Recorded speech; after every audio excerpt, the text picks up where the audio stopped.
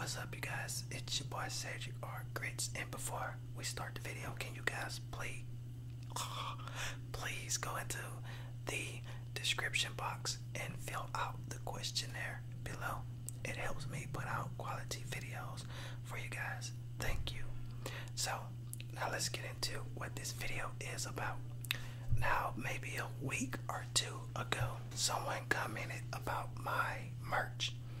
Now, the thing was, I wasn't thinking about putting out merch until a few of the subs were saying you should put out merch, and I was like, okay, cool. So I did it. Um, I wasn't thinking about getting the Blue Yeti until some people suggested getting that mic, so I did it. I'm always trying to do things to um, better the channel, and I might be off topic just a little bit, but the overall video, you're gonna get it. But anyway, someone was talking about the merch, okay? And they wrote a long paragraph as to why they would never purchase the merch. Me, I am a, I guess, like jeans, sneakers, and white tee type of guy. I'm not really into a lot of high fashion things. That's not what I'm really into. I don't care for it at all. Um, so when I chose my design, I chose to keep it something something simple that would not have people saying, "Oh man, do I want to get this one or this one?" I wanted to keep it basic. I'm not some super like fancy guy. That's me. You know, some of you guys might be like that. But the guy went on a whole paragraph about why he would not purchase my uh, merch. So that got me to thinking about how I became so successful within a year on my channel. April 1st is going to be a year for me. And I guess because it's about to be a year, I just wanted to share to you guys how I feel like I became successful. And that comment kind of made the made me question how I became successful on YouTube with my ASMR. So when I read that, I was like, this guy focuses a lot about, like he wrote a paragraph, he, and I was like, he focuses a lot about what he doesn't like on my merch. And that got me saying, you know, I never quite focus on what I don't like. I always focus on what I do like. Now, the times that I focus on what I don't like is when I'm streaming with you guys you guys ask me, Cedric, do you like this game? Do you like this brand? Do you like this brand and stuff like that? And I'm like, yeah, no, some maybe a little bit, you know. But for the most part, in my personal life, I'm never focusing on what I wouldn't really do or what I don't like. I tend to focus on what I would do and the things that I do like. Let me turn my phone down because I might I don't want to edit a lot. And um, so I was like, yeah, I focus a lot about what I do like, and that's how I am successful with my channel. That's what I'm thinking because a lot of you guys ask me how do you grow your channel, and there's no way that I can really give you the correct advice as to how to grow your channel. It's just focus on doing what you like to do.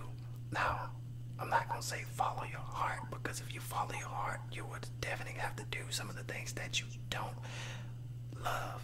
You know, there's a lot of things I love doing ASMR, but there's a lot of things that I don't love doing that I have to do in order to put out these ASMR videos. You know what I'm saying?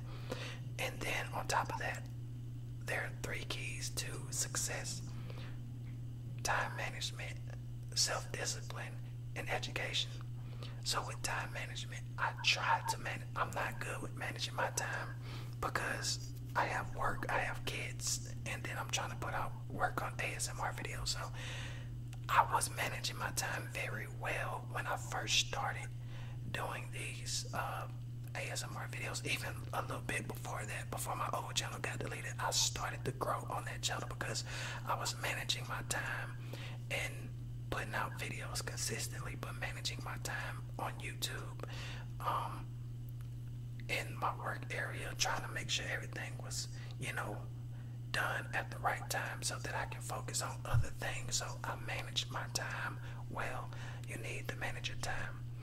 And with managing your time come, becomes self-discipline. You have to discipline yourself. You have to say, if you're going to start these videos, you're going to have to say, or any other thing that you're about to do, you're going to have to say, listen, I'm going to practice. That's basically what self-discipline is. You're disciplining yourself to make sure that you are becoming better and better at what you're doing.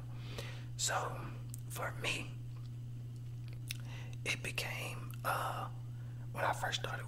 I didn't think I can whisper that good, but when I before I started doing ASMR, I used to just whisper and whisper and whisper. Before I even recorded my first ASMR video, I just used to whisper, and I'm not good at whispering. What is what you guys didn't know? I was not good at whispering in class. Like I would whisper, but the teacher could always hear me and they'd be like, Cedric, be quiet.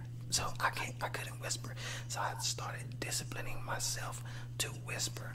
And I must have did it right because you guys like when I whisper. So self-discipline, discipline is I also used to do the dance jerk and I taught myself how to move like that and move my feet like that and Dougie and all that stuff and the pop locking a little bit. So that's self-discipline. Education. I watched a lot of ASMR videos to see, to try to get the grasp of what this ASMR community was and how I could uh, make my mark in it and do, um, try to do ASMR to the best of my abilities. So I'm always trying to I always get suggestions from you guys. Sometimes I don't do you guys' suggestions because you're telling me to do something like someone else. I don't necessarily want to do something like someone else. I want to do something like Cedric. I want to be original. I want to be creative. I want to be different. But oftentimes I do take uh, some of you guys' uh, suggestions, but I educated myself. I read articles about ASMR. I read uh, a lot of articles. I watched a lot of ASMR YouTubers before I got into doing my video. Okay, then uh, just find Comedy Shorts Gamers video and look up Comedy Shorts Gamer reacts to ASMR or something. And he got the links to different channels. Those are some of the first channels that I watched of the people doing ASMR. So I studied them and I just started uh, doing my ASMR by watching them, just trying to get the grasp of what ASMR actually was. Okay, so that's education. Educate yourself on this. So, time management, self discipline, and education are three things that I follow, and I focus on what I love, not what I wouldn't do or what I don't like, or you know, just focus on what you do like and what you would do those are the things that kind of help me um, successful in YouTube. I just hit 8K. I'm on, I'm well on my way to 9K. My goal for the year is to just get at least 10K. Just this year is 10K, and um, I'm having fun doing what I love to do. Um, and back to the clothing. So my clothing isn't like freaking that expensive. I like it simple. Sometimes you just gotta keep things simple, like a simple grits sweater. It's simple. And there was and someone was like, Your prices are too high, but I'm like, you need to stop trying to fit in because I don't do I really don't do a lot of name brand things other than vans. Okay? Um, but I told I'm like, look, bro, you would definitely try to fit in. I'm not saying you have to buy my merch. I don't care if you buy it or not. It doesn't phase me. I'm saying don't try to fit in with other people because you say my merch is high, but you would definitely go and buy a Nike or Jordan shirt that costs forty dollars for a shirt, but you went buy my shirt for twenty, and that's what I told. That's what I let them know, and it's the truth, you know. And I'm not trying to force. I'm not forcing anybody to go and buy my stuff. I just did it because it was suggested by you guys. I never was thinking about it. Okay, it was suggested to me by the subscribers, the people who watch me, and I was like, cool. I would definitely send like create this. I kept it simple. Some people keep their designs freaking crazy. I'm a simple person. I put my personality into my design, which is simple. I mean, I made the design myself. I know how to do. Uh, I have to do videos. I'm gonna have to do some videos of the stuff that I do, probably on Cedric TV to make like thumbnails and designs like this. I will definitely do stuff like this to show you guys what I do. But I just need a better computer um, because I can't screen record anymore. I used to last year, but now my computer's really just starting to show its age, so I can't use OBS to screen record and show you guys what I'm doing. It is what it is, but yeah, just be different. Follow those. Like, focus on what you love. Focus on what you like. Stop focusing on what you hate because you never grow like that. Um, be different and time management, self discipline, and education. Those are just some of the things that work for me. Some of it will work for you, some of it, some of it may not. Just find your own path and keep pushing forward. Peace.